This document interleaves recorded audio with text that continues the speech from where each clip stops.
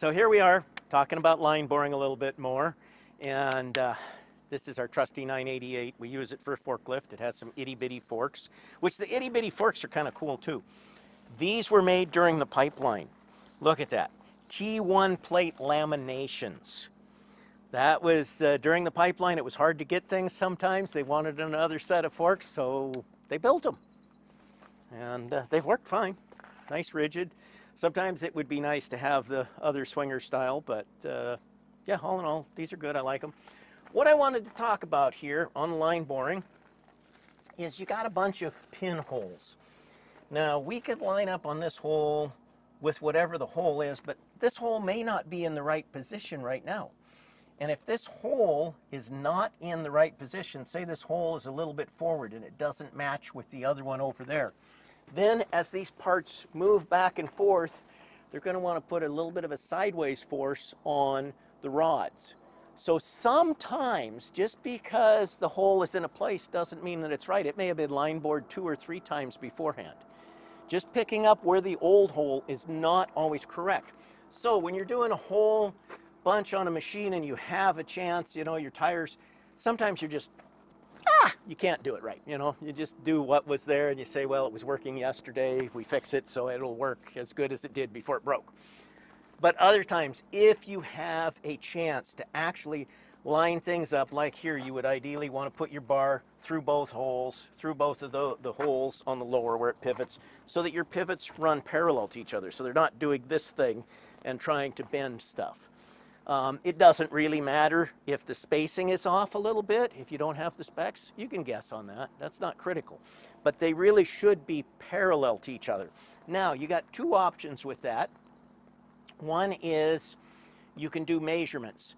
Say you find a hole in each of them and you can somehow measure the holes and this one's off it's an eighth inch long here versus the other side. You can run an indicator like I was talking about inside with the bar and you can decide how far to move it one way or the other to get the hole offset from the one that's there to where it should be. Uh, the other thing you can do, which used to be really popular uh, in the 90s, because in the 90s, Caterpillar loved people working on their machines before the uh, aftermarket really got to be a threat to them. Uh, they loved to have people working on their machines and they really didn't care what was going on. They just wanted to see them out there working.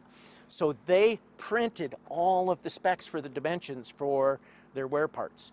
You could go and get from Caterpillar any day of the week you wanted. They'd give you all the dimensions for where these holes were.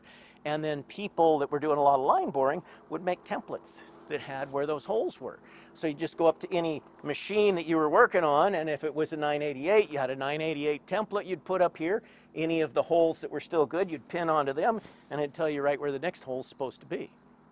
And that was uh, pretty cool stuff. They quit, I think it was early 2000s when they quit printing those. They had a whole list of them that you could buy from them and then they, re they requested all those back. And now they'll give you dimensions uh, if you request it properly and you're doing an approved repair. And I've gotten dimensions from them now and then on jobs I've been on. But it's not like it used to be. They had a microfiche system in the 90s that you could buy from them for about $10,000 that covered every machine that they had for all of the important dimensions. And uh, it's pretty pretty handy. We had that uh, we had that set of files up there at Red Dog Mine, and uh, yeah, it was pretty cool. It was it was nice of them.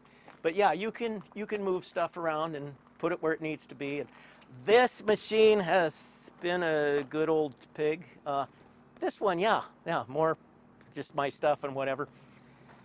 When I was mining in 1989, we actually rented this machine and I bought it somewhere in the 2000s. I don't remember when, but I bought the machine and I had actually owned it for a few months before I got to uh, crawling underneath it. And uh, ignore the tire that needs air again. Okay, I admitted it. We were going to just not show it on here. I know it had to show up. we we got to put air in it. Um, but I, I got to looking at the center pin, and if you look underneath, you'll see there's a strap across there welded to hold that up where all of the bolts had broken out. When we rented this machine mining, Uh, we had to do that as an emergency repair because the bolts were all stripped out. It was falling out, and we just didn't even contact the people we were renting it from. We just said, let's patch it and get going. And I'd owned this for a couple months that I actually owned it and bought it. At the time that we rented it, it just had a bucket on it. I never even had thought about it being the same machine. And uh, yeah, but it turned out to be the same machine. Couple, and I just I cracked up laughing when I looked at that strap. Hey, fluff ball.